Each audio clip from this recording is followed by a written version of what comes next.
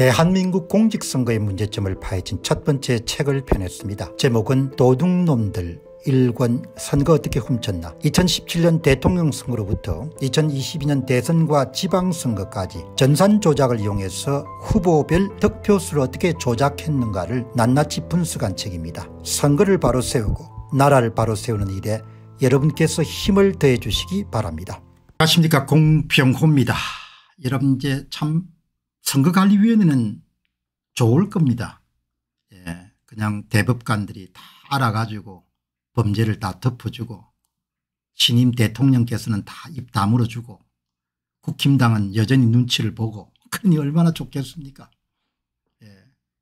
뭐 민경욱이나 공병호나 박주현이나 도태우처럼 일부 사람들이 왁왁거리지만 참 그 사람들은 본인들이 그냥 다 세상을 다 이겼다고 그렇게 아마 생각할 겁니다.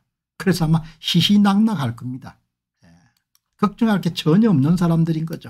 다 알아서들 예, 범죄를 덮어주고 은폐해주고 침묵해 주니까 얼마나 좋겠습니까.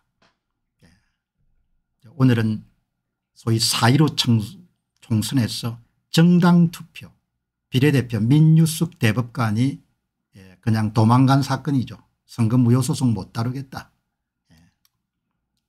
예. 공병호 tv에서 오늘 일면 톱 기사로 위조된 것으로 보이는 정당 투표 비례대표 투표 위조 투표지들 출연이라는 그런 기사를 이렇게 다루었습니다.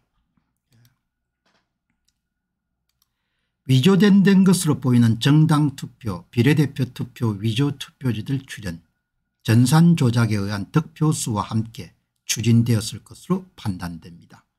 대법관들이 노골적으로 깔아뭉개는 상황에서 법적으로 부정선거를 밝히는 일은 불가능한 하지만 증거물들을 차곡차곡 축적하는 일은 국민들이 반드시 해야 할 일입니다. 공적기관들이 모두 손을 놓아버린 선거 부정 문제 이 나라의 앞날에 대해서 진심으로 우려하지 않을 수가 없을 겁니다. 예. 이 내용은 재검표에 가장 많이 참여한 경험을 갖고 있는 인천에서 활동하고 계시는 권오용 변호사가 자신의 페이스북에 정당 투표지는 48.5cm 정도 될 정도로 아주 긴데 그걸 거의 접지도 않고 집어넣은 그런 것이 예, 바로 투표가 끝난 다음에 개표소에서 발각이 됐다. 4.15 예. 총선 개표장에서 참관인이 촬영한 사진입니다. 아래의 사진의 긴 투표지는 비례대표 사전투표지입니다.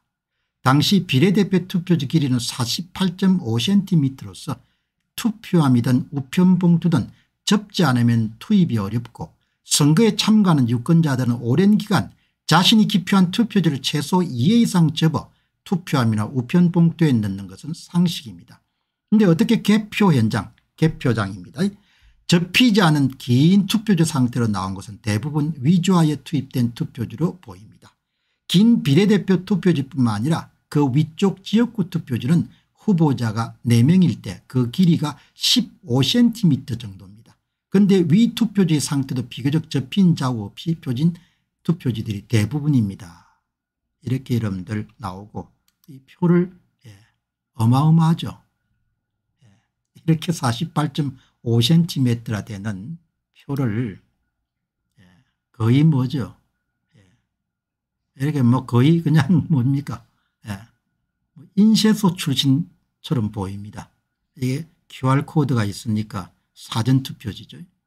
그러니까 아마 제가 볼 때는 사전투표가 끝나고 당일 투표가 여러분들 있는 날 그 사이에 어느 시점에서 예, 이렇게 인쇄소에서 인쇄해 가지고 사전투표 정당 투표지를 이렇게 예, 투입한 걸 보입니다. 다음부터는 이제 이렇게 좀 구겨가 집어넣겠죠. 정부가 알려졌으니까. 뭐 여러분들 이것도 그 정당 투표에서는 기본적으로 실물로 된 위조 투표지만 투입한 게 아니지 않습니까 동시에 뭘 했습니까 전산 조작에 의해서 후보사의 득표수를 이동시키는 일도 같이 했지 않습니까 지금 여러분이 보시는 것이 4.15 총선의 정당 투표거든요. 왼쪽 인천 계양구는 조작을 했고 그다음에 오른쪽에 광주 광역시 북구는 조작을 안 했거든요. 조작을 해놓으니까 조작값이 30%를 인천 계양구 선관위 발표 후보별 득표수를 찾아낼 수 있었고 광주 광역시 북구에서는 조작을 안 해놓으니까 조작값 0%인 겁니다. 여기 옆에 여러분들 A의 사전 당일 비율은 뭘 뜻하는가 하니까 사전투표지 100장당 당일 투표지가 몇 장인가를 나타내는 비율입니다. 예. 그런데 이 보시게 되면은 조작을 하지 않은 광주광역시에는 선관위 발표한 거하고 선관위가 발표한 것에 찾아낸 조작값을 가지고 진짜 후보별 득표수를 추정한 것 사이에는 변화가 없습니다. 이 0.83이라는 것은 뭘 뜻하는 거 하니까 선관위 발표 후보별 득표수에서 미래한국당은 당일 투표지 100장당 사전투표지 83장을 받았다는 이야기입니다. 그게 조작을 안 해놓으니까 선관위 득표수나 진짜 득표수나 비율이 같습니다. 그런데 이쪽은 계양구는 조작을 해놓으니까 선관위 발표에서는 미래한국당은 사전 당일 투표 100장당 사전투표를 주신 3장을 받았습니다. 근데 표를 빼앗기잖아요. 표를 빼앗겼으니까 진짜는 70장을 받았는데 53장을 받은 것으로 나온 겁니다. 표를 빼앗겼으니까. 더불어시민당은 진짜는 65장을 받았는데 표를 쑤셔 넣어줬으니까 당일 투표지 100장당 조작을 한 선관위 발표 득표수를 보게 되면 79장을 껑충 띄어오르는 겁니다. 그러니까 이 득표수를 조작한 사람들은 뭐 본인들이 그렇게 뭐 공부를 많이 한 사람은 없을 거 아닙니까 그러니까 그냥 숫자 조작해 가지고 그냥 득표수 만들어서 선관위 발표 득표수를 발표하고 그냥 당선자 결정하게 되면 끝나는 거다 이렇게 생각했는데 조작한 결과들이 다 이렇게 남아있는 겁니다. B를 한번 보시기 바랍니다. B를 보시게 되게 되면 은 미래한국당하고 더불어시민당의 인천 계양구는 조작을 해놓으니까 사전투표하고 당일투표가 크게 차이가 나는 겁니다. 예. 미래한국당은 표를 빼앗겼으니까 마이너스 5% 더불어시민당은 표를 더해줬으니까 플러스 7% 이런 반올림한 값이겠죠. 예. 그런데 여러분들 광주광역시 북구에는 조작을 안 해놓으니까 예. 사전투표 득표율과 당일투표 득표율이 같거나 비슷해서 차이값이 거의 마이너스 1에서 플러스 1% 나오는 겁니다. 이렇게 조작을 하게 되면 다 선거 데이터를 만지게 되면 이 값들이 다 나올 수밖에 없는 겁니다. 이런 짓들을 전국에서 다 한 거죠. 전국에서. 이렇게 광주 광역시 북구청 그러니까 여러분들 몇 번 소개해드렸던 것처럼 이렇게 데이터를 조작을 했기 때문에 예, 정규 분포도를 그려보게 되면 2016년처럼 조작하지 않은 데는 예, 차이값 그래프가 거의 제로에 가까워 가지고 예, 이 평균값을 0을 중심으로 한 종 모양의 분포도가 차이값 그래프가 그려지지만 2020년도 4.15 총선처럼 조작을 해놓은, 해, 하면은 평균값을 여러분들 더불어민주당 플러스 12.5%를 이동시키고 예, 그다음에 미래한국당은 마이너스 12.5%를 이동시키는 이런 두 개의 종 모양이 나오지 않습니까? 이렇게 뭐 아주 명확한 뭐 고단수의 수학이나 통계학이 필요하지 않은 이런 직관적 이해를 할 수 있는 이런 그래프를 대법관들이 모를 리가 없고 윤석열 대통령이 모를 리가 없는 겁니다. 예. 뭐, 그 모른다면 그분들의 그 지력을 너무나 과소평가하는 거죠. 다 아는 겁니다. 예. 지금 여러분들 국힘당이나 뭐 이런 데 있는 사람들 다 알지만 뭐 다 이익 때문에 그냥 깔아뭉개는 거죠. 예, 뭐 딴 거 없는 겁니다.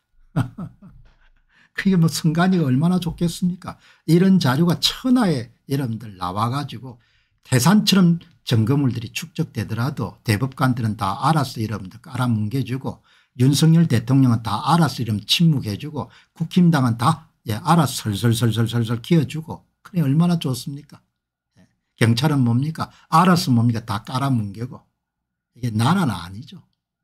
예. 양아치들이 사는 데는 모르겠지만 정상적인 머리를 갖고 사는 사람 같으면은 이거는 뭐 말이 안 되는 거죠. 음. 이 비용을 많이 치르게 될 겁니다. 예, 저는 뭐 세상 살면서 딴 건 모르겠는데 예, 선택하면 비용을 치른다는 것은 뭐 폐부에 박힐 정도로 예, 그걸 받아들이니까 이 침묵의 대가 이 비겁함의 대가 이 불의와 손을 잡은 것에 대한 대가 이거를 예, 너나 할 것 없이 한국 사람들이 다 여러분들 세월을 두고 치르겠죠. 예. 그걸 이제 막아보려고 이렇게 이제 외치고 분석해서 이런 말씀을 드리는 건데 뭐 희망을 버릴 수는 없지만 그래도 해볼 때까지 해봐야 되지 않겠느냐 그런 생각으로 계속 임하고 있습니다. 마무리하기 전에 광고하도록 하겠습니다. 여러분 이제 올 상반기에 선을 보인 다섯 권의 이 도둑놈들 시리즈는 참 귀한 책입니다. 예.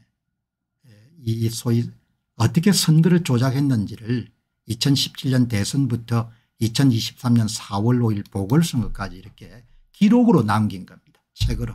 예. 그래서 여러분께서 많이 구매해 주시고 주변에 널리 확산해서 선거가 무너지게 되면 국민들이 고생을 하지 않습니까 그 고생도 나중에는 말과 글로 담을 수 없을 만큼 고생을 할 겁니다.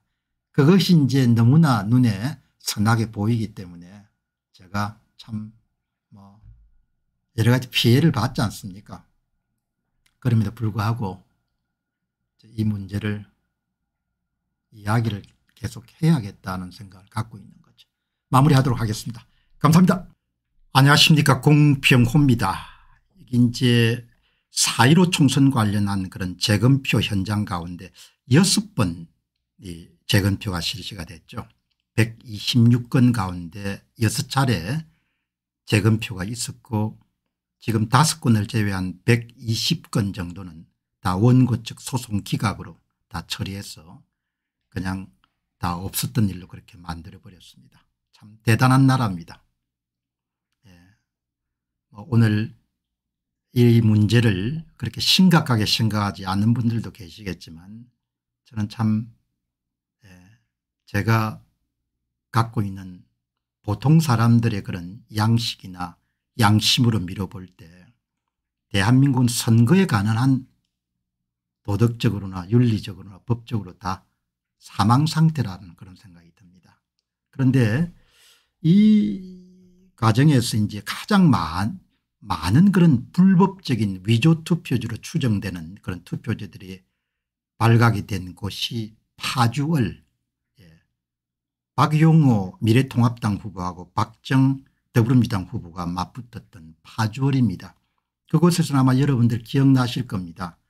뭐 이 배춧잎 사전투표도 나왔고 그 다음에 이제 인쇄소 출신이 분명한 붉은 예, 하살표가 있는 그런 투표지도 나왔고 그다음에 이제 이 투표를 진행하는 동안에 예를 들면은 뭐 투표지가 훼손되거나 그렇게 되면은 투표록에 특이사항을 기록하지 않습니까 20매의 투표지에 선거관리위원회에 투표관리관 도장이 찍히지 않았다. 그런데 그런 기록이 투표록에 남아있는데 정작 재검표를 해놓으니까 모두 다 여러분들 투표관리관 도장을 다 인쇄해서 붙여가지고 그런 20장의 투표관리관 도장이 찍히지 않는 그런 투표지가 나오지 않은 겁니다.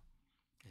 그런 이제 파준대 저는 놓쳤습니다마는 이 검찰이 보완 지시를 한 그런 사건이 있었네요. 파주을에서. 그런데 검찰이 그걸 뭉갠 겁니다. 예. 그 내용을 지난 1월 달에 권순할 tv에서 보도를 했네요. 예. 고양지청에 근무한 이근정 검사가 4.15 총선 파주을 사건을 보완 수사를 하라 이렇게 경찰에 지시를 내린 겁니다. 4.15 파주을 고소 사건을 문겐 경찰에 다시 보완 수사를 요구한 겁니다. 파주 경찰서의 부실 수사에 제동을 걸다. 그 나라가 온전한 데가 전 없는 것 같아요.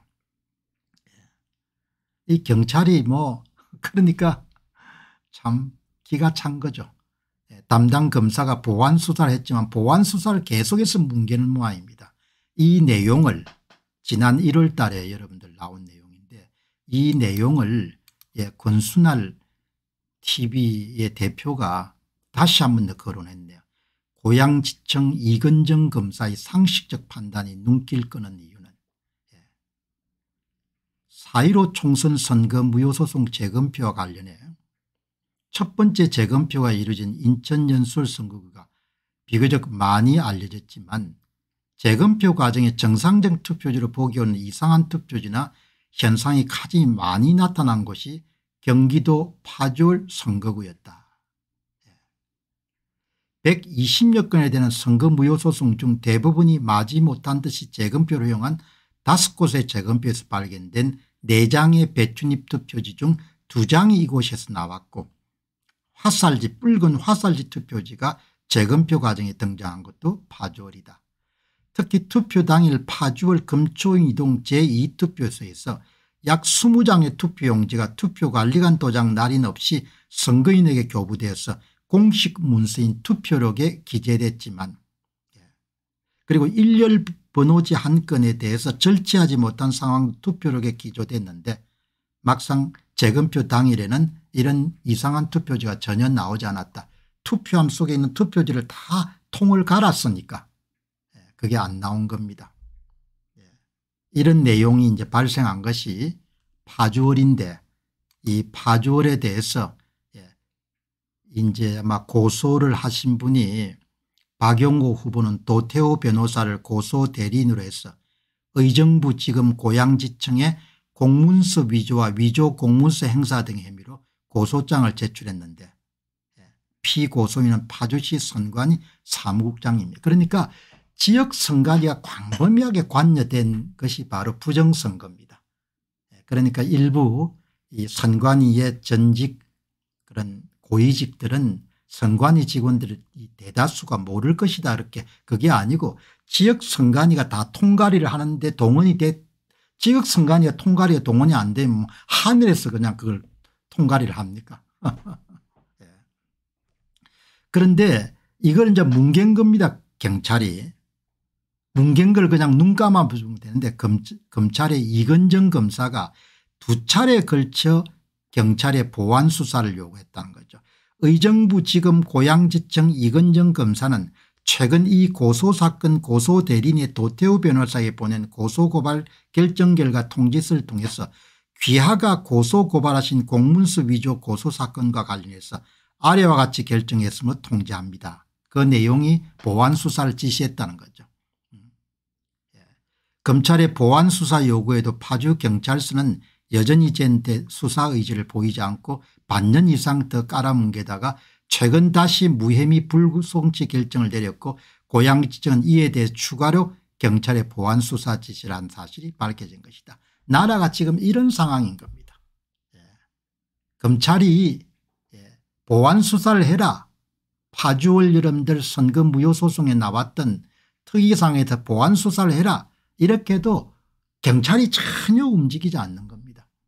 그래서 제가 여러분들 뭐라고 이야기하는 거 하니까 선거에 관한 한 대한민국은 법적으로나 윤리적으로 도덕적으로 파산 상태다 이렇게 이야기하는 겁니다.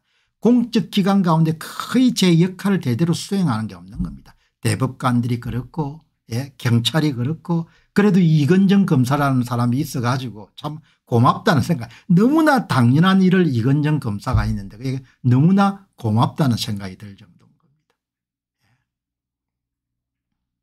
예. 여러분 참. 그러면 파주월의 조작을 얼마나 했습니까? 그렇게 여러분들 왜 조작을 할 수밖에 없었는가 하니까? 득표수를 조작을 해 놓으니까. 개표가 끝났을 때 선관위가 공식적으로 발표한 파주월의 후보별 득표수하고 개표가 끝난 투표함 속에 있는 여러분들 투표지 개수가 다른 겁니다. 다르기 때문에 법원이 증거 보전 명령을 내리니까 투표함 속에 있는 투표자들이 던진 투표지를 다 소각하거나 파쇄해버리고 뭘 한 건가 하니까 예, 인쇄소에서 찍어 가지고 예, 그냥 그거를 개수만큼 선관위 발표 이런 개수만큼 넣어 가지고 부랴부랴 만들었기 때문에 배추잎 사전투표지가 4장이나 나오고 이렇게 나온 겁니다. 그렇지만 여러분 다 이 밝혀낼 수가 있습니다. 이게 뭔가 하니까 이게 예, 이 2020년도 4.15 총선 경기 파주시 을에 선관위 발표 후보별 득표수를 분석해 보게 되면 조작값을 찾아낼 수 있습니다. 조작값을 찾아냈다는 것은 이 조작값을 이용해 득표수를 새로 만들어냈다는 겁니다. 예, 미래통합당의 박용호 후보한테서 박용호 후보가 사전투표 득표수가 12,402표를 받았는데 이 중에 30%에 해당하는 3,721표를 훔쳐가지고 더불어민주당 박정 후보한테 더해 준 겁니다. 그리고 여기는 파주을은 박용호 후보 표만 훔친 게 아니고 국가혁명배당금당의 변지혜 후보의 득표수도 30% 사전투표 득표수 30%는 136표를 훔친 겁니다.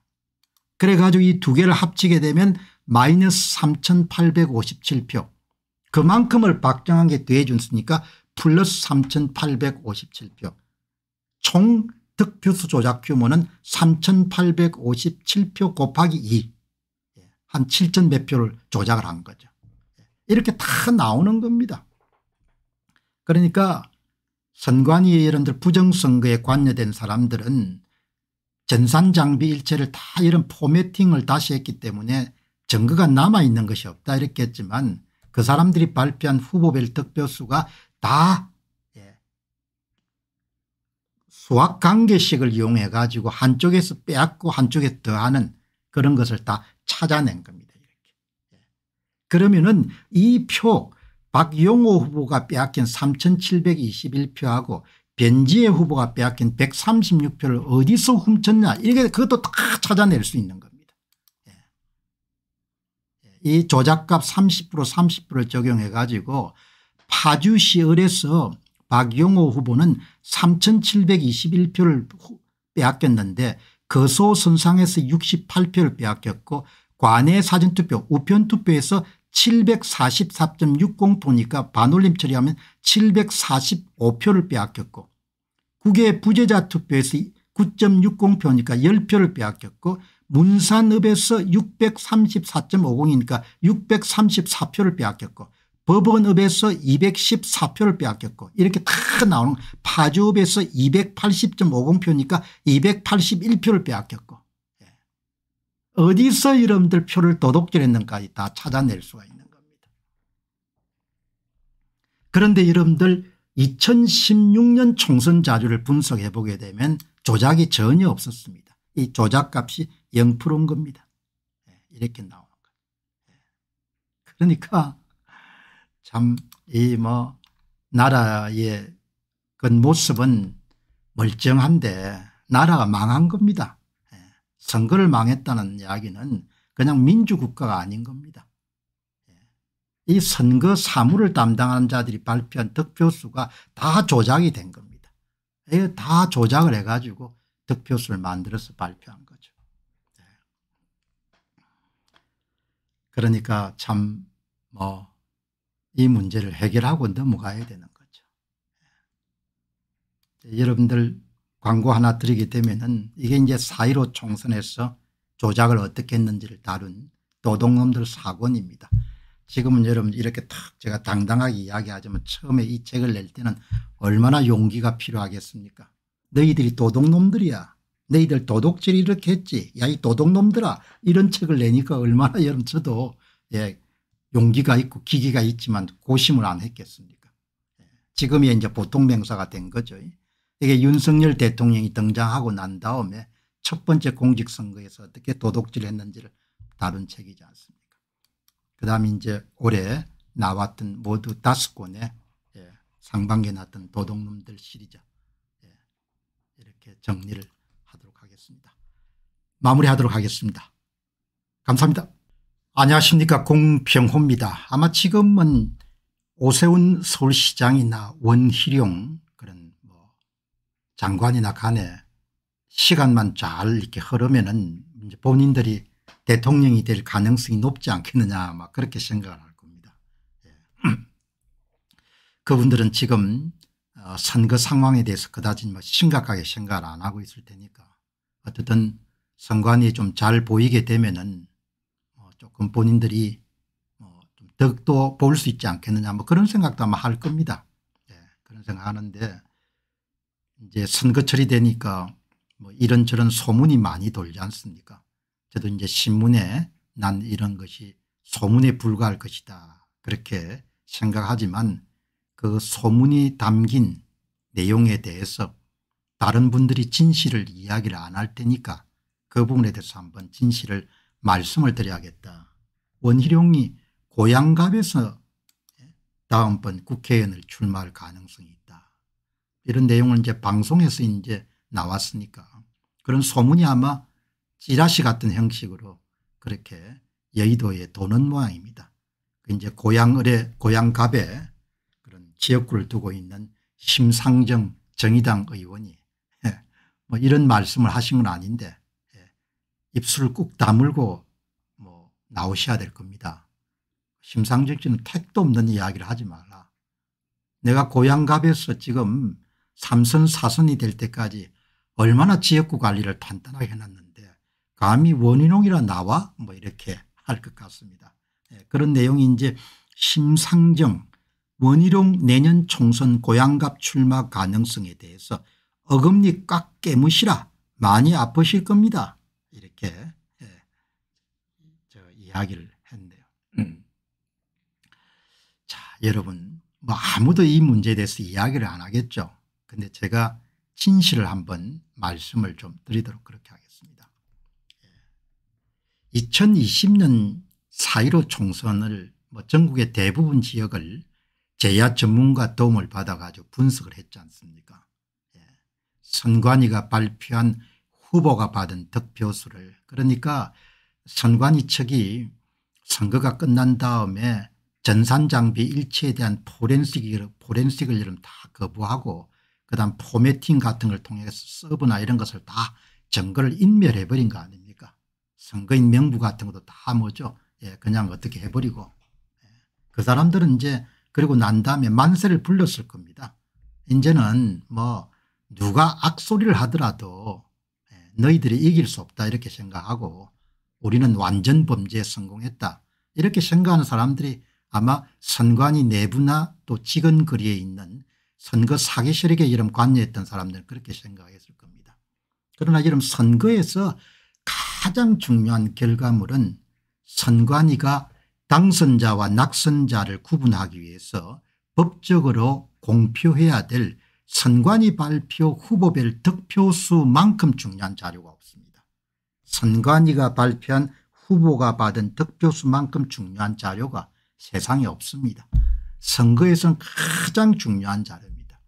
제야 전문가가 선관위가 발표한 후보별 득표수를 여러분들 다운로드를 받아 그거를 분석하기 시작한 거 아닙니까 2020년도 4.15 총선은 거의 분석을 다 했죠. 거기서 이런 크게 뭘 발견한 겁니까? 예. 정당 투표 비례대표 투표하고 지역구 투표. 전국을 다 뭡니까? 조작값을 집어넣어 가지고 미래통합당 후보가 받은 사전투표 득표수 100장당 20장을 훔칠지 30장을 훔칠지 그걸 여러분들 예 그냥 전산 장비에 세팅을 해가지고 지금 볼 때는 투표지 분류기 같은 부분을 많이 이용했을 것 같은데 다른 전산 장비도 동원을 했겠죠. 이제 그렇게 해가지고 표를 전산적으로 이동시킨 겁니다. 이동시키고 그다음 이제 그것도 미흡하니까 뭘 했는고 하니까 인쇄소에서 사전 투표지를 대량으로 여러분들 인쇄를 해가지고 이제 그 인쇄지를 여러분들 사전 투표가 끝나고 당일 투표가 여러분들 있고 개표가 있는 날까지 한 4박 5일 정도 시간이 있지 않습니까 그때 사전투표함을 열고 그걸 집어넣은 거 아닙니까 예. 집어넣어 놓으니까 예. 그냥 개표장에서 빳빳한 이제 예. 신권다발 같은 그런 정당 투표 사전투표지 지역구 투표지 같은 게 나온 거 아닙니까 그 다음 여러분들 이제 흥미로운 것은 그러면 호남권 전라남도 전라북도 광주 광역시에는 손을 대지 않았냐 그쪽은 더불어민주당 이제 텃밭이니까 그것도 손을 댄 거죠. 예, 그곳에 손을 대 가지고 예, 뭐 박지원 씨라든지 그다음에 지금 감방에 가 있는 그 비행사 운영했던 양반 그다음에 또 대통령 출마했던 그런 전주의 이름 덕 덕진의 누굽니까 정동영 씨 이런 사람들도 다 소, 손을 댄 거죠. 손을 대 가지고 근데 호남권에 서는 일부 지역에 대해서만 손을 안 댔습니다. 그 지역 가운데 하나가 이제 강산구 광주 광역 강산구의 민형배 의원 같은 경우는 뭐 손을 댈 필요가 없으니까 손을 전혀 안 댄 거죠. 그 전국적으로 사전투표 득표수 조작과 실물로 돈 위조 투표지 투입을 한 겁니다. 그런데 이런 놀라운 것은 놀라운 일이 있습니다. 심상정만 보호를 해준 겁니다. 고향갑에 있는 심상정이 표는 손을 안 댄 겁니다. 그게 여러분들 득표수 분수를 그대로 나옵니다. 그러니까 심상정만 표에 손을 대지 않고 고향갑에 나왔던 더불어민주당 출신의 국회의원한테는 예, 표를 국민의힘에서 빼앗아 가지고 미래통합당에 빼앗아 더해 준 거죠. 예. 그 심상정은 손을 안 댔기 때문에 두 사람 사이에 더하고 빼기 하더라도 심상정은 그래서 저는 그 선거 데이터를 보고 아 심상정은 그냥 보호를 해 주기로 이 사람들이 작심을 했구나. 그러니까 3구 2022년도 3구 대통령 선거가 끝났을 때 심상정 표도 빼앗았잖아요. 심상정 표도 빼앗았지만 심상정 씨 일체 언급 안 하지 않습니까 그 선수들끼리는 다 아는 겁니다. 선수들끼리는 표, 득표수 조작을 한다는 것을 서로가 다 아는 거죠. 심상정 씨는 그냥 특별보호지역인 겁니다. 선거 사기 세력들한테는. 그러니까 원희룡 씨가 고향갑에 나오면 절대 될 수가 없는 겁니다. 특별보호지역을 예, 특별보호지역에 심상정이가 있는데 심상정 씨가 꼬부랑 할머니가 돼가 뭡니까 그럴 힘이 없을 때까지 국회의원 안 해먹겠습니까 예, 특별 보호 지역이니까 특별 보호 지역은 절대 손을 안 대는 겁니다. 그러니까 이쪽 동네 사람들끼리 다 아는 거죠. 사전투표 득표소 조작하고 그러니까 나는 너희들이 무슨 짓을 한 건지 안다. 그렇게 뭡니까 유튜브에 나가 가지고 본심을 여러분 털어놓는 겁니다. 그러니까 아마 뭐 원희룡 씨는 요즘에 좀 더 업되니까 뭐 나와도 안 되겠냐 이렇게 생각할 수 있을 것 같은 나오면 100% 떨어집니다. 예. 선거 사기 세력들의 위력을 본인들이 이제 직접 체험하게 되면은 그때 아 공박사 이야기가 맞았구나 그렇게 생각할지 모르겠는데 국민의힘 내부의 사람들은 전략도 없는 것 같고 그렇게 그렇게 당하면서도 일곱 분을 당했는데 예, 그러면서 정신을 전혀 못 차리는 것 같아요.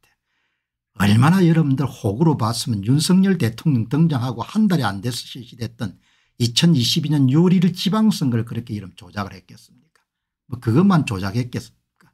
예, 윤석열 대통령이 1년도 채 안 된 2023년도 4월 5일 보궐선거에서 울산 교육감 선거하고 울산 남구 나의 기초위원 선거 여러분들 밀어줘 가지고 당선자와 낙선자를 바꿔서 여러분들. 그렇게 예, 득표투 조작을 해가지고 예, 그런 천창수 민주노총 지지 후보를 당선시키는 거 보시기 바랍니다. 그때 조작값이 35% 100장당 35장을 훔쳐가지고 당선자와 낙선자를 바꾸지 않습니까 사람이 이제 어리석으면은 뭐 잘 안 보이죠. 사심이 많으면은 예. 저는 예. 이렇게 그냥 사심이 없기 때문에 세상을 선거에 관한 한 정확하게 보지 않습니까 그런데 국힘당은 사람들은 예. 그냥 그 눈앞의 이익에 다 매몰돼 가지고 선거 사기 세력들이 얼마나 위력적이고 강력한지를 그렇게 이야기를 해줘도 잘 모르는 것 같아요. 하기야 이놈이 되나 저놈이 되나 다 마찬가지지 않습니까 이놈을 찍어뒀자면 다 덮고 저놈을 찍어줬으면 그냥 예, 더 피해가 컸겠죠. 예. 어쨌든 많이 썩은 나라입니다. 예, 겉은 멀쩡하게 보이고 무슨 자유가 어떻고 법치가 어떻고 정의가 어떻고 뭐 시장경제 어떻고 이렇게 떠들고 다니지만 예, 가장이 여러분들 그냥 중요한 일 안 하면서 뭡니까? 너희들 공부 열심히 해야 된다. 너희들 잘해야 된다. 이렇게 하면 말빨이 통합니까? 말빨이 하나도 안 통하는 거죠. 예. 은행 일치가 돼야 말빨이 다 통하지 않습니까? 사실과 진실과 진심이 있어야 말빨이 통하는 거죠. 마무리하도록 하겠습니다. 여러분 마무리하기 전에 광고 하나 드리도록 하겠습니다. 2023년도 상반기에 전국에 여러분들 이 소위 공직선거가 어떤 식으로 지금 진행되고 있는 걸 파헤친 이 도둑놈들 시리즈가 예, 이제 5권까지 마무리가 됐습니다. 여러분께서 많이 확산시켜서 더 많은 사람들이 깨어날 수 있도록 힘을 더해 주시기 바랍니다. 감사합니다. 안녕하십니까 공평호입니다. 이제 이 선거 부정 문제는 어떻든 선거 부정을 통해서 가장 그, 그 큰 이득을 누린 쪽이 더불어민주당 쪽이지 않습니까 그리고 이제 4.15 총선 같은 경우는 구체적으로 양정철 전 민주연구원 원장 이건영 전략기획위원장 같은 사람들이 이 선거 문제를 주도했다. 이런 것이 뭐 대외적으로 다 이렇게 알려져 있지 않습니까? 본인 입으로도 이야기를 했고. 그리고 2020년도 4.15 총선 나고 바로 그 다음날 4월 16일 날 좀 경박한 일이었습니다마는 너무나 기쁜 나머지 더불어민주당의 전략기획위원장을 지냈던 이건영 씨가 자신의 페이스북에 보정값 설정값 제가 이야기하는 조작값을 발표했지 않습니까? 예, 그렇게 해서 우리가 승리했다. 이렇게 이야기했고 또 사전투표가 여러분들 거의 마무리될 시점에 또 야권에 이렇게 말빨이 좀 센 양반이 예, 그뭐 약간의 술이 취해가지고 유튜브에 나와가지고 난 너희들이 무슨 짓을 한 줄 안다 뭐 이렇게 했지 않습니까 무슨 짓이겠습니까 세월이 지나고 난 다음에 보니까 사전투표 득표수를 한 걸 내부적으로 안다는 이야기로 그렇게 해석이 될 수가 있는 거죠. 예. 이제 그런데 우리가 궁금함을 가지는 것은 자 그런데 예, 선거를 도둑질 당한 국민의힘 미래통합당의 후신이죠. 그 사람들은 지금 뭘 하고 있는 거냐 그렇게 궁금해하시는 분들이 많으실 겁니다. 예. 최근에 제가 국민의힘의 국회의원들을 만난 한 분으로부터 전, 전해 들은 이야기는 제가 예상했던 거하고 전혀 다르지 않습니다. 국힘당의 상당히 고위급에 속하시는 분이 이런 이야기를 하는 겁니다. 예. 지금 말입니다. 우리 원내에서는 그냥 선거 부정 문제에 대해서는 일체 입을 다무는 게 일종의 불문율입니다. 그 이야기하면 예, 큰일 납니다. 이렇게 이제 이야기를 했으니까 꼭 같은 이야기가 이제 얼마 전에 대통령실에 과거에 마포구에 여러분들 국회의원 나와 가지고 떨어졌던 양반이 무슨 신민사회수석인가 고대 나온 양반이죠. 이름이 기억이 안 나네. 예. 제 앞에서 부정선거 붙자도 이야기하지 마시기 바랍니다.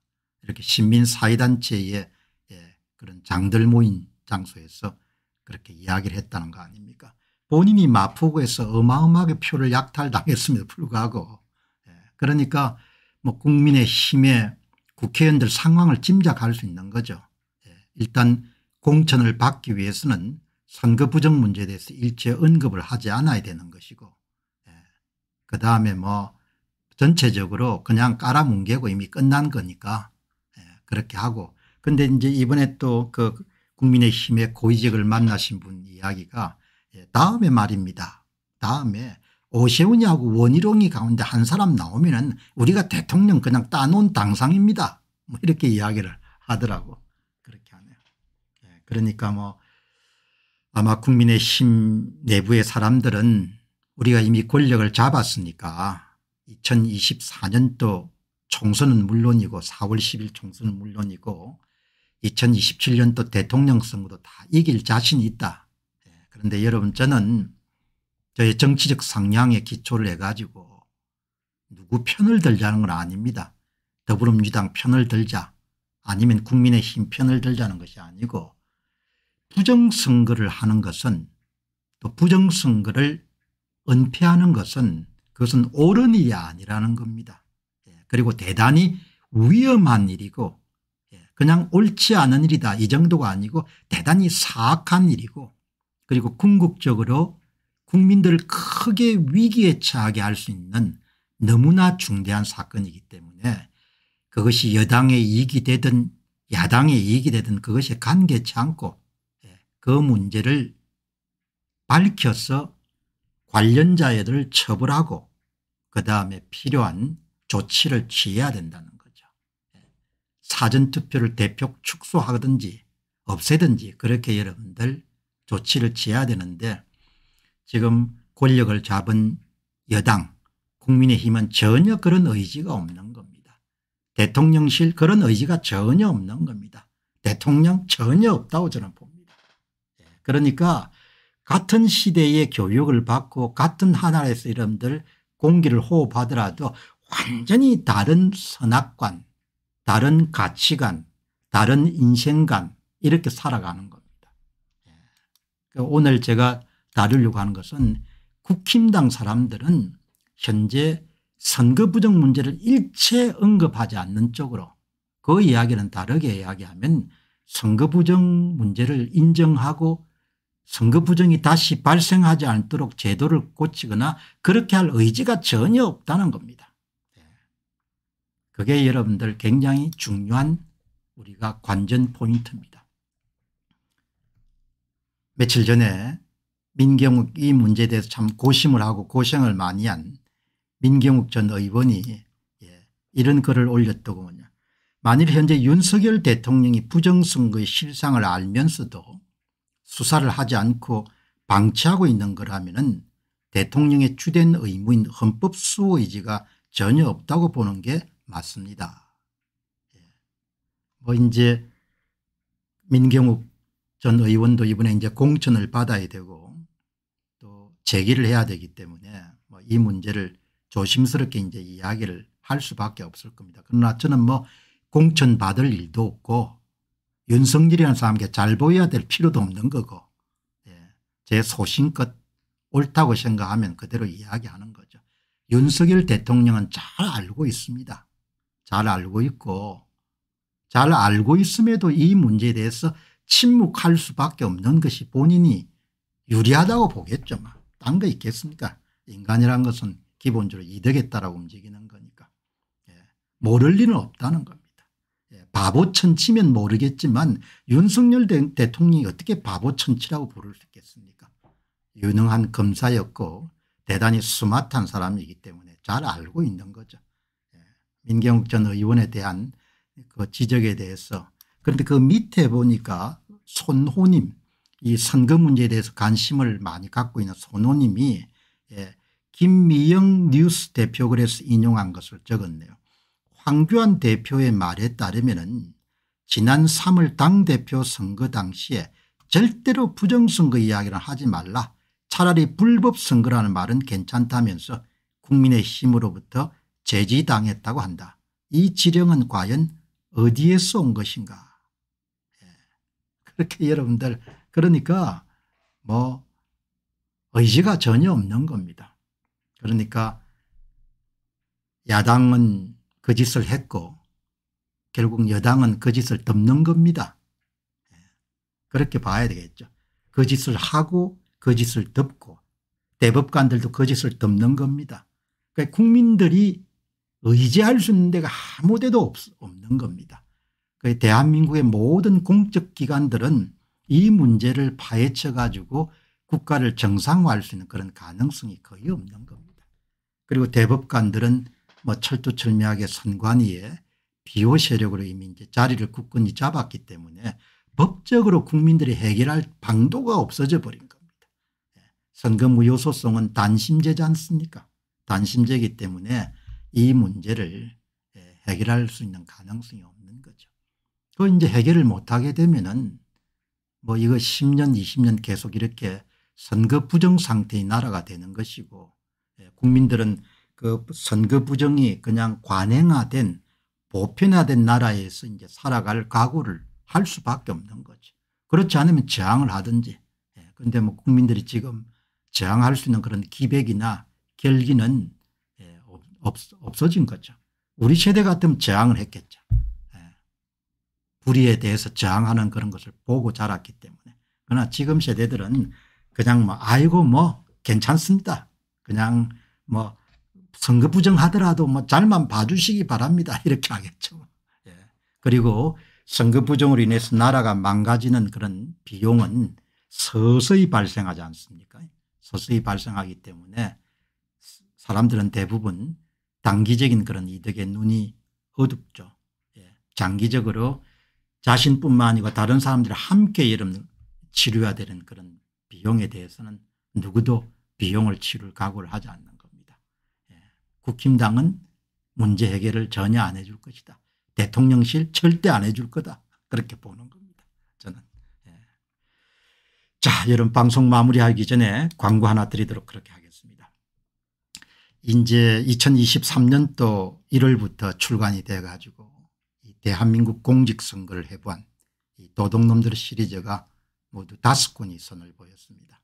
여러분께서는 이 책들이 널리 확산돼서 이 참정권 침탈 문제를 막아서 나라가 많이 어려워지지 않도록 하는데 힘을 더해 주시기 바랍니다. 감사합니다.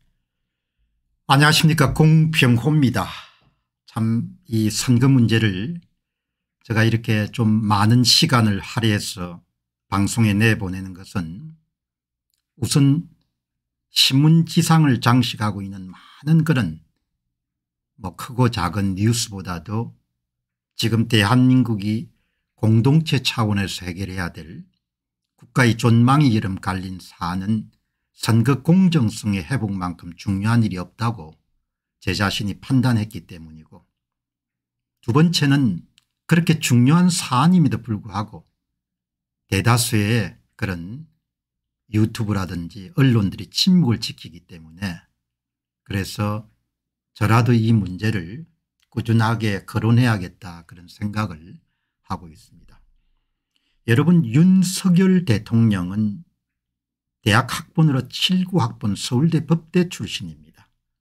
그리고 30년 정도의 검찰 생활에서 아마 대부분의 경력을 특수통 출신으로 지냈습니다.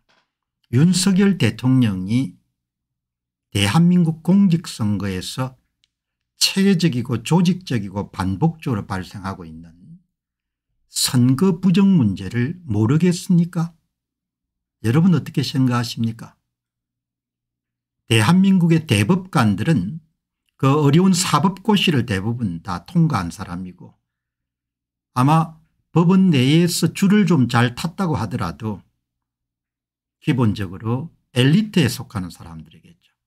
그 사람들이 여러분들 대한민국에서 반복적으로 일어나고 있는 선거 사기 문제를 모르고 깨고 있다고 생각하십니까? 국민의힘 국회의원은 어떻습니까? 더불민주당의 이런 국회의원은 어떻습니까? 저는 그들이 다 잘 알고 있다고 봅니다. 2020년도 4.15 총선이 끝난 직후에는 그들 가운데 긴가민가 하는 사람들이 있을지 모르겠지만 그 이후에 수많은 그야말로 태산 같은 그런 증거물들이 축적됐기 때문에 윤석열 대통령은 물론이고 대법관들도 모두 다 상황을 정확하게 파악을 하고 있을 겁니다. 그러나 각자의 뭐 이익이나 이런 것 때문에 그냥 이 문제를 침묵하는 쪽으로 때로는 은폐하는 쪽으로 때로는 깔아뭉개는 쪽으로 가는 것이 이로운 일이다 이렇게 생각하기 때문에 모두가 침묵하고 은폐하고 원고 측 소송을 기각하고 말도 안 되는 판결문을 가지고 국민을 우롱하고 이런 일들이 저는 벌어지고 있다고 봅니다. 그들은 알고 있을 겁니다. 그것도 아주 잘 알고 있을 겁니다. 잘 알고 있음에도 불구하고 뭐 여러분들 세상에 어떤 일을 하지 않아야 될 이유도 찾기가 쉽지만 하지 않아야 될 이유를 하지 않아야 될 이유를 찾는 것도 아주 쉽지 않습니까 예, 세상 살면서 우리가 설령 게으름을 피우더라도 거짓말을 하더라도 사기를 치더라도 도둑질을 하더라도 여러분들 그걸 왜 내가 할 수밖에 없었는가 이유를 대자면 은 뭐 쉬운 일입니다. 부정선거를 왜 수사 안 하냐 부정선거에 대해서 수사 지시를 왜 안 하냐 부정선거를 왜 깔아뭉개냐 이런 부분에 대해서 저마다 대통령이건 법무부 장관이건 검찰총장이건 대법관이건 언론인들이건 간에 예, 그 이유를 찾을 수는 쉬울 겁니다. 인간이란 것은 기본적으로 머리를 갖고 있기 때문에 하지 않아야 될 이유를 찾기도 쉬운 거죠. 이제 어제 여러분들 독서 시간에 말씀을 드렸습니다만은 이 문과 출신들하고 달리 문과 출신들하고 달리 이공대 출신들은 좀 다르게 여러분들 사고 훈련을 받지 않습니까 어제 교토대학의 세포생물학 출신의 여러분들 말씀은 과학적 사고에 대한 부분을 말씀했는데 참 이 내용이 귀한 내용이기 때문에 오늘 한 번 정도 더 예, 윤석열 대통령 한동훈 법무부 장관 노태학 대법관 조재현 천대엽 민유석 김선수 이동원 예, 안철상 이런 사람들이 다 부정선거를 알고 있으면서도 어떤 사람은 침묵하고 어떤 사람은 그냥 은폐하고 어떤 사람은 원고 측 소송을 기각하고 어떤 사람은 선관위를 비호하고 이렇게 대열에 쓰지만 그러나 문과 출신들이 대부분 권력의 축에 있기 때문에 그 사람들이 과학적 사고방법을 훈련받을 기회가 참 적기 때문에 그것을 특별하게 훈련을 시켜줘야 된다는 것이 어제 여러분들 보셨던 단단한 지식 단단한 지식의 교토대학의 세포생물학을 하신 1947년생인 나가타 가저히로라는 분이 이야기하신 거지 않습니까? 어제 그 과학적 사고방식의 가장 중요한 특色을 이루는 대조 대조 실험 예. A 집단과 B 집단을 서로 상호 대조해서 보여주는 것이 바로 과학적 사고의 과학적 실험 방법의 1순위다라는 부분을 이렇게 이야기하지 않습니까 너무나 중요하기 때문에 과학적 사고방식의 기본 과학 분야의 실험이란 한마디로 말하면 대조 사이의 차이를 찾아내는 것이라고 해도 좋다. 예. 건강보조식품이나 민간약 중에는 이것을 먹으면 이렇게 건강해집니다. 이런 증상이 개선됩니다 라고 주장하는 경우가 많지만 먹지 않았을 때와 비교하는 대조 실험은 진행되지 않을 것이다. 두 그룹을 나누어 가지고 예, 예를 들면 부정선거 같으면 부정선거가 있었던 그룹과 부정선거가 없던 그룹을 상호 비교하게 되면 은 뚜렷하게 예, 부정선거가 있었다는 것을 증명할 수 있다는 겁니다. 과학적 사고에 익숙하지 않다면 이런 대조에 관심이 적을 수가 있다. 이것은 현대 와서도 마찬가지이기 때문에 주의를 요해야 하는 점이다. 그 대한민국에서 부정선거를 접근할 때 선거 부정이 이루어진 곳하고 이루어지지 않은 것을 상호 비교하게 되면 금세 드러나지 않습니까 네.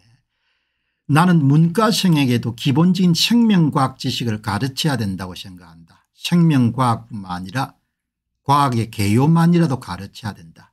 그들은 과학적 기본적인 사고방식을 알아야 되기 때문이다. 예. 대조 대조 실험을 아는 것만으로 사회에서 가치 판단의 정밀도가 극단적으로 높아진다. 예.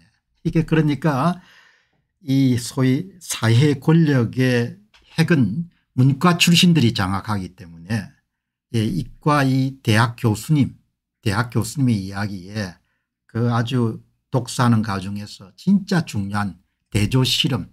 예. 그 여러분들 어제 제시한 게 이거였지 않습니까? 왼쪽은 2016년도에 서울 진역의 49개 선거구에 사전투표 득표일 빼기 당일 투표 득표의 차이값 그래프지 않습니까? 조작을 하지 않았으니까? 차이값이 거의 0하고 비슷합니다. 그 이야기는 바로 예, 뭘 이야기합니까 예, 후보별 사전투표 득표율과 당일 투표 득표율이 같거나 비슷하다는 이야기죠. 부정선거가 없었다는 이야기입니다. 그런데 일, 일본의 세포 생물학 교수님의 그런 대조 실험과 마찬가지로 오른쪽을 보시기 바랍니다. 이게 상호 비교되는 겁니다. 2016년 총선 2022년 2020년 총선 4.15 총선 한번 보시기 바랍니다. 정확하게 연값을 중심으로 차이값이 플러스 12.5% 더불어민주당 차이값입니다.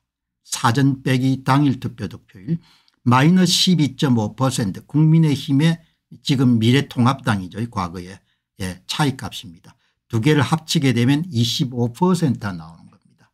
여기서 25%라는 것은 뭘 이야기하는 겁니까 서울 지역의 사전투표 투표자 수의 12.5%를 미래통합당 후보에게서 마이너스 처리하고 플러스 그다음에 플러스 12.5%만큼을 더불어민주당에게 더해 준 거 아닙니까? 그러니까 이것은 4.15 총선에서 발표된 선관위 발표 후보별 득표수가 평균적으로 사전투표 투표자 수의 25%에 해당하는 득표수만큼을 증가와 감소시킨 득표수를 이동시킨 거죠. 4.15 총선의 서울 지역의 사전투표 조작 규모는 서울 지역의 사전투표 참가자 수의 약 25%만큼 참가자가 100명이었다면 25명만큼을 이동시켜 가지고 득표수를 조작한 거죠. 이게 바로 대조 실험입니다. 왼쪽은 2016년도에 총선 조작이 없은 사전투표 조작이 없었던 거고 오른쪽은 사전투표 조작이 있었던 2020년 4.15 총선이지 않습니까 예. 이게 이렇게 여러분들 간단 명료하게 부정선거가 있었다는 문제를 증명할 수가 있는 겁니다. 이렇게 간단한 것을 서울법대를 졸업하고 30년간 특수통에서 여러분들 이름을 날렸던 윤석열 대통령이 이런 사실을 모를 리가 없는 겁니다. 예. 그 한동훈 씨가 머리가 빠르지 않습니까 머리가 좋게 생겼잖아요. 그러니까 뭐 딸내미도 여러분들 머리가 좋으니까 MIT를 여러분 가는 거죠. 예. 그 한동훈 씨 여러분들 그 머리 좋은 사람이 이걸 모를 리가 없지 않습니까 스마트한 사람. 검찰총장이 이걸 모를 리가 없지 않습니까 대법관들 12명이 이걸 모를 리가 없지 않습니까 다 아는 겁니다. 알고 있음에도 불구하고 저마다의 이유와 사연 때문에 필요 때문에 다 이것을 덮는 겁니다. 저는 그것을 이제 분명하게 말씀을 드리는 겁니다. 4.15 총선이 끝나고 난 다음에 뭐 몇 달 정도야 하도 이런 일이 없었으니까 고정관념과 선입견이 강한 사람들은 예, 뭐 이거 이 이거는 부정선거는 음모론이다. 뭐 이렇게 이야 여러분 한번 보시죠. 제 얼굴 한번 보시기 바랍니다. 제가 음모론 같이 헛소리를 하고 살 사람입니까? 저는 그렇게 인생을 살아오지 않았고 제 성품 자체가 큰 일을 하든 작은 일을 하든 굉장히 진지하게 성실하게 뭘 추구하는 스타일입니다. 예, 무슨 일을 하든지 간에 집안일을 하든 사회일을 하든 그다음에 자기가 맡은 무슨 프로젝트를 수행하든 간에 양아치처럼 안 하는 겁니다. 양아치처럼. 지금 지도자들 가운데 양아치처럼 하는 사람들도 많지 않습니까 내 눈에는 양아치처럼 보이거든요. 어떤 일에 대해서 진지함이 없으면 그건 양아치처럼 업무를 하는 거란 말입니다. 예. 이렇게 여러분들 우리가 외부의 그런 우리하고 시각이 다른 이과 출신의 교토대학교 세포생물학 교수님이 예, 쓴 책을 이렇게 보고 예, 그것을 통해 가지고 다시 우리 문제를 한 번 더 성찰하고 반추해 보게 되는 것이죠. 예, 어떻든 간에 참 이 뭐 저마다의 이익이나 필요나는 문제는 우선순위에 앞설 수가 없고 이렇게 국가적인 대사 국가의 존망과 관련될 수 있는 선거 조작이라는 것은 기본적으로 국사범입니다. 내란죄 예. 국가의 헌정 질서를 붕괴시키려고 하는 의도를 갖고 있는 내란죄에 해당하는 겁니다. 선거 사무를 담당한 자인 내란죄를 범한 겁니다. 그것도 일곱 번씩. 예. 그러니까 이게 뭡니까 사안이 터지게 되면은 그, 그 사람들 그냥 예, 빼를 추리기가 힘들 겁니다. 모르죠. 한국 사람들은 물렁한 사람들이 많으니까 좀 봐주자 이렇게 할 수 있을지 모르겠지만 이거는 봐주고 이렇게 이거는 봐주고 할 일도 아니고 대한민국의 지도층인 대통령이나 법무부 장관이나 검찰총장이나 예, 감사원장이나 대법관들이 이걸 그냥 깔아뭉갤 수 있는 그런 사안이 아닌 겁니다. 죽고 사는 문제를 어떻게 깔아뭉갭니까 국사범들을 어떻게 용서해 주는 겁니까 내란죄 럼 관여한 인간들을 어떻게 용서를 해 줄 수가 그것도 세금을 받아먹고 사는 선관위가 주도한 선거 범죄지 않습니까? 선관위가 주도해서 득표수를 조작한 초광력 범죄지 않습니까? 이거를 그냥 깔아뭉개고 그냥 좋은 세상 살자. 그렇게 될 수가 없는 거죠. 그렇게 되면 나라가 아마 골로 가겠죠. 네. 양당 간의 결정이 안 되겠습니까? 자 어떻든 여러분 또 다음 주제로 넘어가기 위해서 이만 마무리하도록 하겠습니다. 여러분께서는 올 상반기에 발간됐던 소위 4.15 총선에서 일어난 득표소 조작을 낱낱이 파헤진 도둑놈들 사건 그다음에 윤석열 정부와의 첫 번째 공직선거의 부정선거 문제를 다룬 도둑놈들 5건 이렇게 상반기에 모두 다섯 권의 여러분들 공직선거 해부 시리즈를 많이 응원해 주셔서 우리가 나라 일하는 사람들이 나라를 지켜줄 수가 없으면 국민들이 나서서 나라를 지켜야 되죠. 예. 우리나라니까. 마무리하도록 하겠습니다. 감사합니다. 안녕하십니까 공평호입니다. 이 신문을 쭉 보다 보면 은 참 잡다하고 사소한 그런 소식들이 매일 신문 지면을 가득 채우고 있습니다만은 적자 국가의 이제 흥망이라든지 국민들의 앞날의 존망과 관련된 그런 중요한 사안들은 뭐 다 알고 그냥 뭉개는데 우리 사회가 다 이렇게 힘을 합치고 있다 이런 생각을 합니다. 그리고 이제 나이가 좀 드신 분들이 이런저런 이제 발언을 좀 해 주셔야 되는데 특히 나이가 드신 분들 가운데서도 사회적인 영향력이 있고 이런 분들은 뭐 이제 살 만큼 살았으니까 크게 개의할 필요가 없지 않습니까 정치 권력이라든지 또 이런 뭐 다른 사람들의 눈치를 예. 이제 오늘 신문을 보다 보니까 이제 김형석 교수님 100세를 넘으셨죠. 예. 뭐 여러분이 잘 아시는 연시대학교 철학과 교수를 지냈던 참 장수하시는 그런 복을 받으신 분인데 그 김형석 교수님이 동아일보에 칼럼을 써줘요. 이제 100년 정도를 살았으니까 어떤 생각을 지금 이 문제에 대해서 갖고 있을까 이런 부분이 궁금하지 않습니까 네, 그런데 이제 오늘 보니까 참 이 지도자론에 대한 지도자가 어떻게 해야 되는가 이거는 또 가장에게도 적용되고 또 개인에게도 적용될 수 있는 사안인데 정말 그렇게 이제 어른을 찾기 힘든 시대가 됐으니까 예. 어른다운 그런 어른을 만나기가 쉽지 않으니까 김형석 교수님이 어떤 이야기를 했나 이렇게 보니까 일단 제목이 참 마음에 드네요. 해야 할 일은 안 하고 해서는 안 되는 일을 하는 사람들 예. 이 집안의 가장이 해야 할 일을 안 하고 해서 안 되는 일을 하게 되면 은 참 집안의 식솔들이 고생을 하죠. 특히 그 고생 가운데서도 아내가 고생을 참 많이 하게 되지 않습니까? 해야 할 일을 안 하고 해서는 안 되는 일을 하는 사람들. 이게 지금 딱 대한민국의 여당 야당을 불문하고 나라 일 하는 사람들이 지금 보편적으로 하고 있는 일이죠. 해야 할 일은 안 하고 해서는 안 되는 일을 하는 사람들. 예, 참 예, 편집하시는 분들이 제목을 잘 뽑았다 그런 생각이 듭니다. 예, 부제를 이렇게 한번 보니까 잘못을 알면서도 거짓을 조작하는 정치인들 딱 들어맞는 말씀이죠. 공동체 의식 없이 민주주의 근간을 흔들어 삶의 공동체인 대한민국과 국민의 불행 진실에 입각한 정직한 정치를 되찾아야 된다. 사실과 진실에 기초한 정치를 해야 될 거 아닙니까? 개인의 삶도 사실과 진실에 기초해서 자기 인생이란 그런 집을 쌓아 올려야 될 거 아닙니까? 잘못을 알면서도 거짓을 조작하는 정치인들.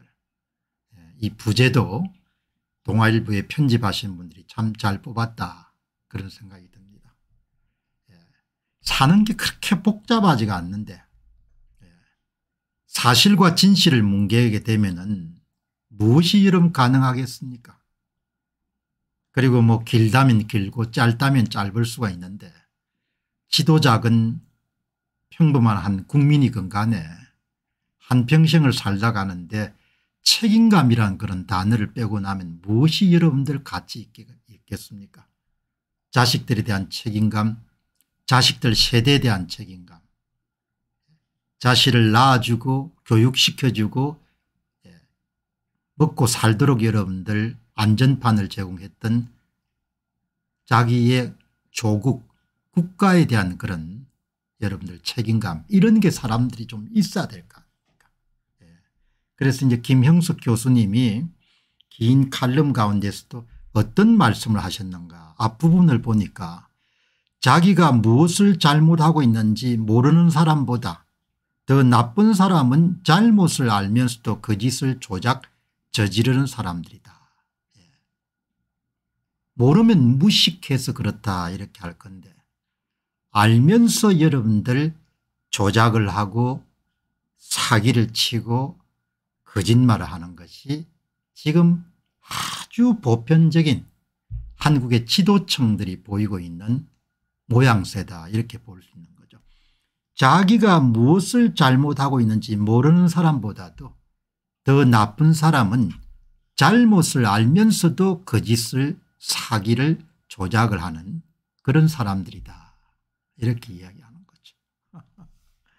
사회 여러 분야의 지도자들 정치계 지도자들 대부분이 그렇다면 사회와 국민은 어떻게 되는가 김형숙 여러분들 교수님 말씀이 대부분이 사회 지도층이 그러면은 그 나라의 앞날이 어떻게 되겠는가 그 말씀을 지적하지 않습니까 70여 년 동안이나 지도자의 폐습이 현재까지 계속되고 있다.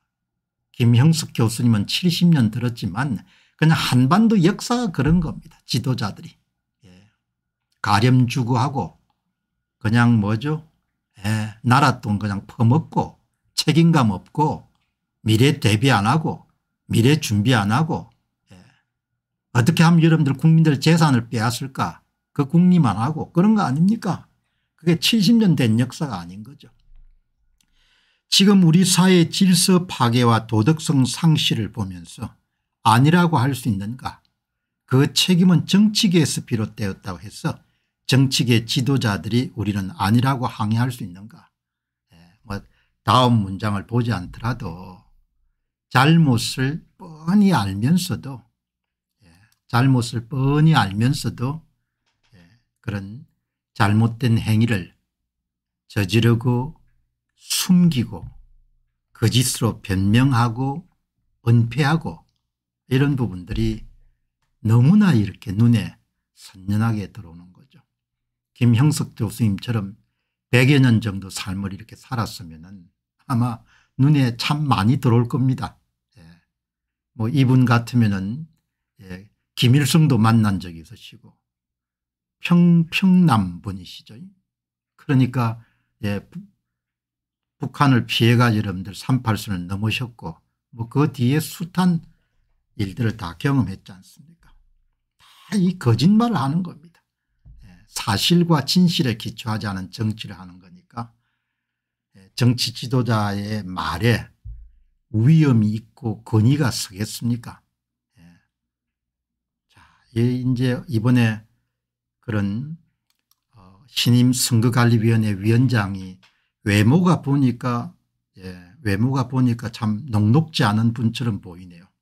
35년 만에 외부 출신 김용빈 전 사법연수원 원장 선관위 사무총장 임명 이 사람의 외모라는 것이 참 중요한데 이 외모가 녹록지 않는 분처럼 보이네요.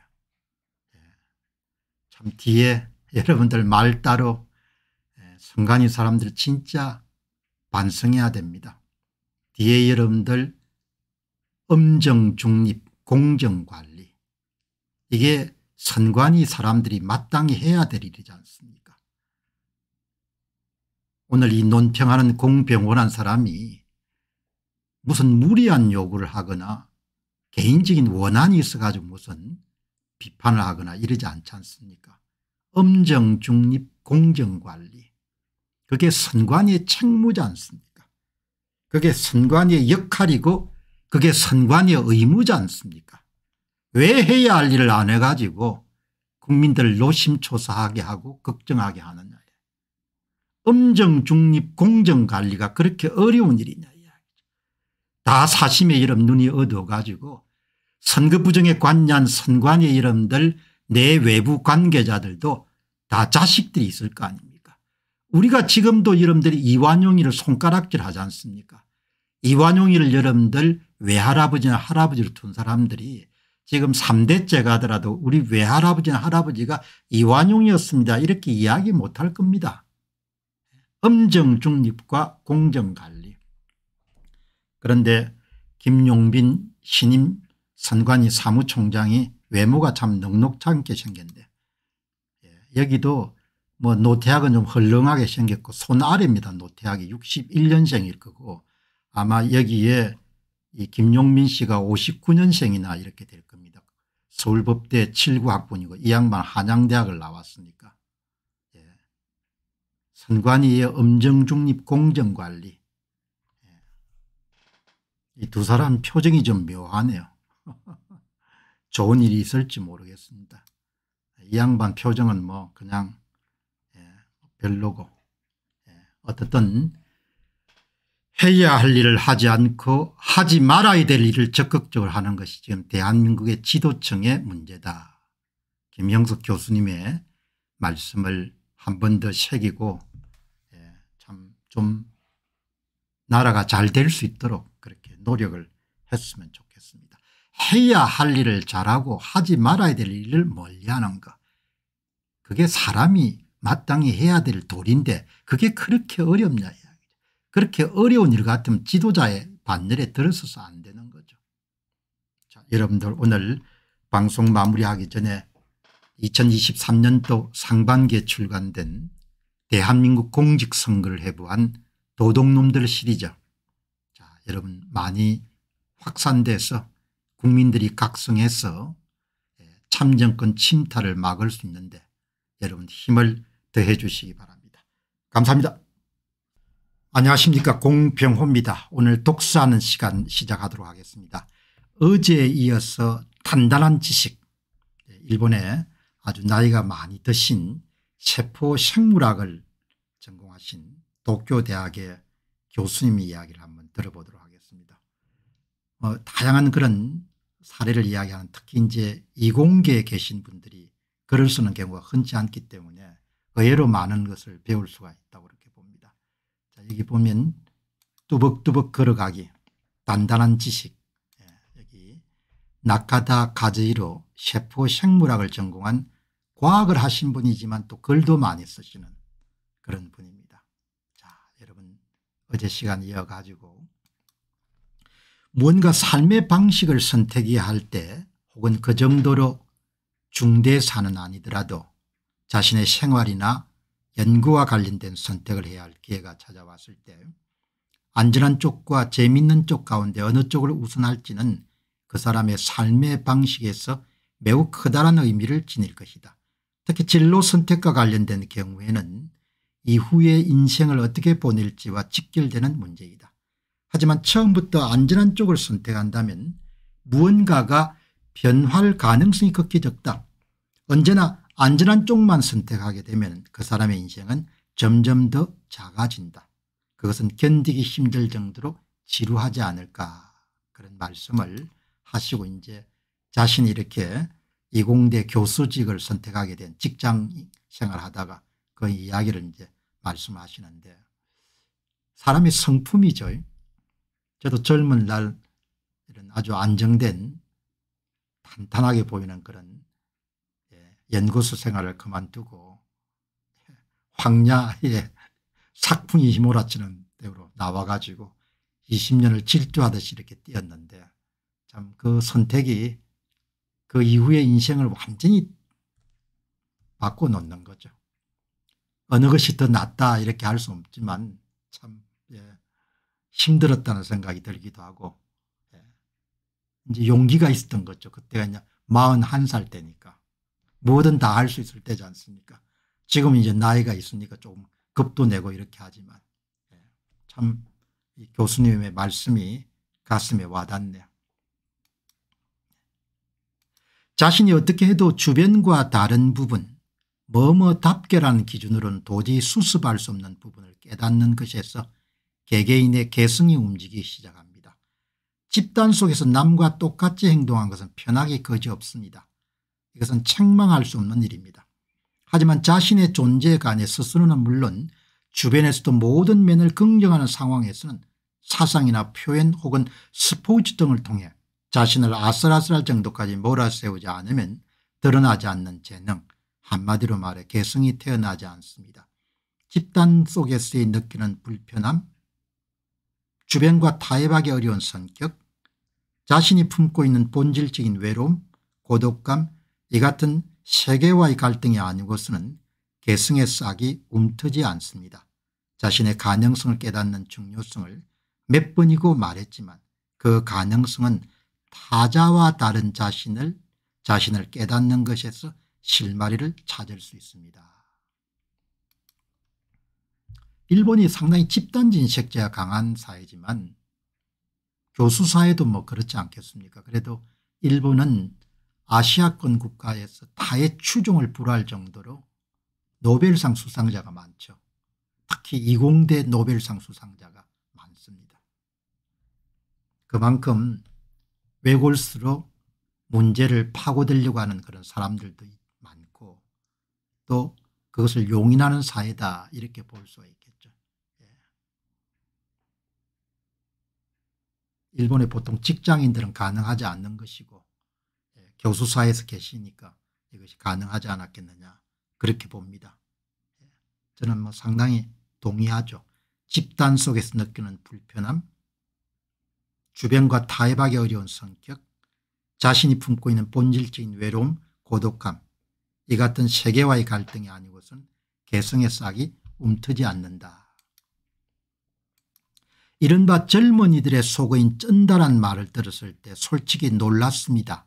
어떤 상황에 사용하든 의미가 통하는 감탄사란 것입니다. 죽여주네 뭐 이런 말하고 같겠죠. 매번 완곡하고 고급스러운 표현을 쓰라는 말은 아닙니다. 다만 필요에 따라 자신의 느낌을 자신의 말로 표현할 때가 인생을 살다 보면 반드시 찾아옵니다. 그런 때를 위해서 우리는 평소에 사용하지 않는다 하더라도 다양한 의휘를 준비해 둬야 됩니다. 이미 오노 스스무의 글을 소개한 것처럼 가령 평생에 한 번밖에 사용하지 않을지라도 그것을 각오하고 많은 의의를 자신 앞에 담아두는 것이 바로 풍족한 생활입니다. 모든 것은 쩐다란 단어 하나로 끝내는 세상은 편리하고 효율적일지 모릅니다.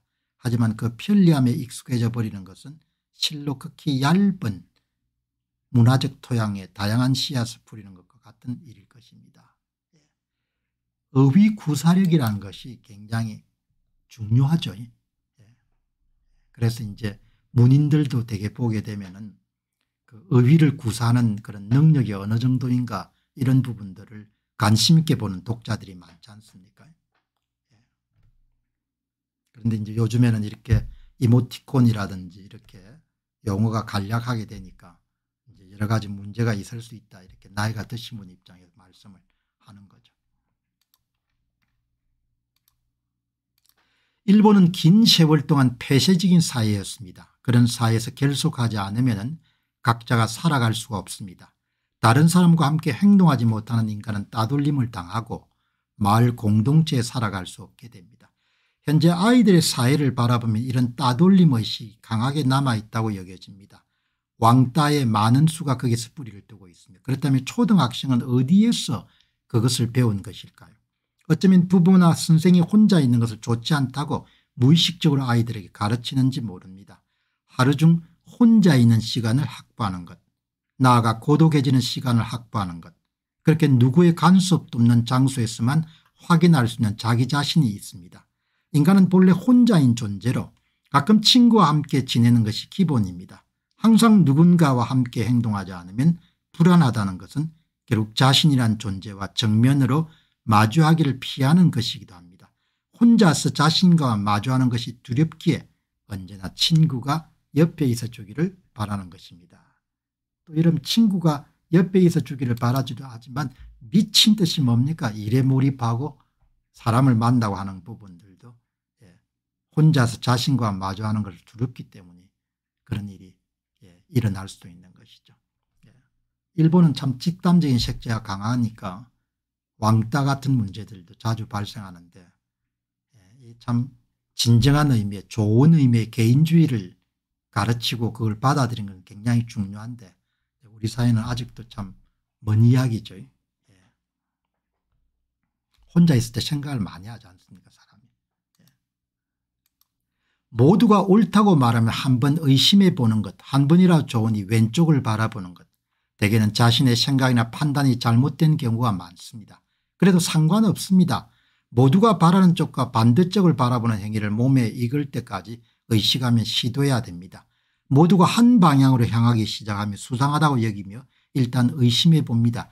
그 정신적 여유와 자기가 서 있는 위치를 스스로 정하는 태도가 양상 피드백에 따른 카오스를 막아줄지 모릅니다. 불과 7 80년 전쯤에 1억 옥새 등의 구호를 크게 외치며 모든 국민이 눈사태처럼 전쟁에 휩쓸려 들어갔던 역사를 반복해서는 안 될 것입니다. 아마 방송을 보시는 분들은 이렇게 많이 느끼시겠지만 저는 이렇게 예, 한 방향으로 막 가는 것을 되게 싫어하거든요. 예. 그래서 피터 드러크 교수가 쓴 자서전을 보게 되면은 예, 오스트리아 비엔나에서 어린 시절에 공산당 창당 기념일에 모두가 깃발 들고 시내로 가다가 본인도 깃발 들고 가다가 중간에 그 깃발을 남한테 주고 집으로 돌아왔다는 거 아닙니까 그때 본인 스스로가 아 내가 관찰자의 특성을 갖고 있는 사람이구나 그런 내용을 수리한 적이 있는데 특정 정치인에게 지나치게 몰입되거나 매몰되거나 특정 이데올로기에 매몰되거나 이런 부분은 저는 탁질색이거든요. 자기 생각을 왜 못하냐 이야기죠. 그 이야기를 하는 겁니다. 예. 일본에서는 상당히 힘든 이야기인데 시련이든 사별이든 사랑하는 사람을 잃었을 때 통절한 아픔을 느끼는 것은 사랑하는 대상을 잃었기 때문만은 아닙니다. 그 상대 앞에서 빛나던 자신을 잃었기 때문이기도 합니다. 저는 2010년에 40년을 함께한 아내를 잃었습니다. 그녀 앞에서 내가 얼마나 자연스럽고 천진난만하게 빛났는지 지금에서야 통절하게 느낍니다. 또한 인생의 동반자가 세상을 뜨고 나서 나를 가장 괴롭힌 것은 내 이야기를 들어주는 존재를 잃었다는 사실일지 모릅니다. 40년 함께 사셨으면 좀 짧았네요. 요즘엔 참 오래 사실 수가 있는데 뭐 그걸 누가 결정할 수 있겠습니까 그런데 참 이 노학자께서 쓰신 글이 표현 능력이 상당히 뛰어나시네요. 이런 표현은 아주 어렵거든요. 예. 상대 앞에서 빛나던 자신을 잃었기 때문이기도 합니다. 이렇게 표현을 할 수 있는 사랑하는 대상을 잃었기 때문이도 참 아픔이지만 예. 언제 어디서든 상대 앞에서 빛나던 자신을 잃어버린 겁니다. 아내를 잃었다는 것은. 예, 아주 참 좋은 근데 뭐 어떻게 하겠습니까 언젠간 또 서로가 예, 갈 길을 가는 거죠. 뭐. 내 이야기를 들어주는 존재를 잃어버린 거. 그 참 빛나던 자신을 잃었기 때문에 상대 앞에서 빛나던 자신 세상 사람 앞에 빛나던 자신이 아니고 예, 참 좋은 글귀입니다. 자 여러분 오늘 방송 마무리하도록 하겠습니다. 감사합니다. 2020년도 4.15 총선에서 일어난 일을 낱낱이 밝힌 도둑놈들 사권 2020 4.15 총선 어떻게 훔쳤나가 출간되었습니다. 이미 발간된 도둑놈들 1권 선거 어떻게 훔쳤나 도둑놈들 2권 2022년 대선 어떻게 훔쳤나 도둑놈들 3권 2022년 대선 무슨 짓을 했나에 이어서 네 번째 발간된 책입니다. 여러분께서 구매해 주시고 주변에 널리 알려주셔서 선거 공정성 회복을 위한 노력에 힘을 더해 주시기 바랍니다. 감사합니다.